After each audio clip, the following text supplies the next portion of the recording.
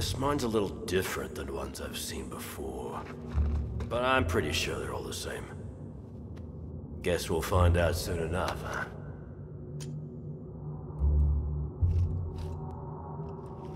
I wish I had the proper equipment for this. But the Empire's ignored all my requests. I've learned to improvise, though. I guess all clones have had to since the war. Can't say I ever thought much about the war ending. Until it did. What unit were you with? It doesn't matter. Humor me. I could use the distraction. Clone Force 99. What happened to them? They're gone. And here we are, the survivors.